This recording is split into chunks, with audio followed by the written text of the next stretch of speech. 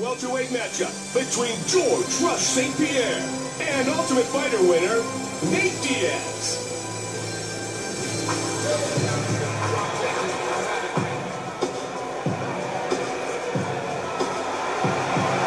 Our of the Tape is brought to you by Boost Mobile.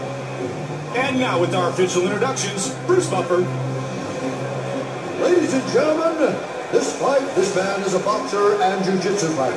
He stands six feet tall, weighing in at 107. And now, fighting out of the red corner. And when the action begins, you ready, sir? Nate Diaz, Georges St. Pierre. And here we go. Joe Georges St. Pierre is such an incredible athlete. He's an amazing athlete, Mike, and he's probably the most well-rounded mixed martial arts fighter. He trains with the best submission guys available, the best kickboxers, the best wrestlers, and he excels at every single aspect of mixed martial arts competition. Great combinations. I like the way he's mixing these up. Spinning back this big connection.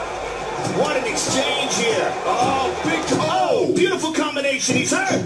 Oh, the cross followed by the hook. Well, it looked like he was hurt, but he snapped back really quick. Sometimes shorter, quicker punches are the way to go. They might not have as much power behind them. That one dropped him. He's hurt. He's hurt. Oh, he recovers. Man, this crowd tonight really. Oh my goodness. Oh, that one staggered him. He's out. And it's all over. Finishes it with the right hand.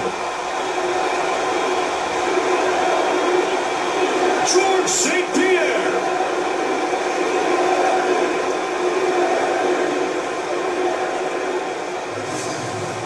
Let's take a look at that again.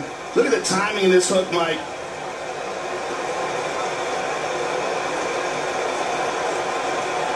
That is one at it again. powerful dude, Joe. Watch. And lights out.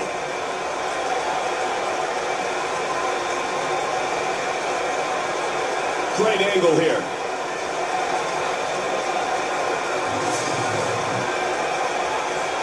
I'm not so sure that he knows how he got knocked out.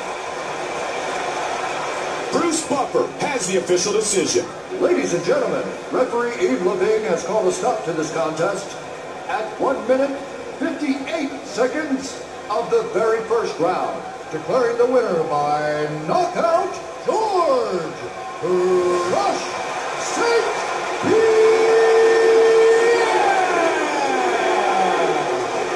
Georges Rush St. Pierre, the winner.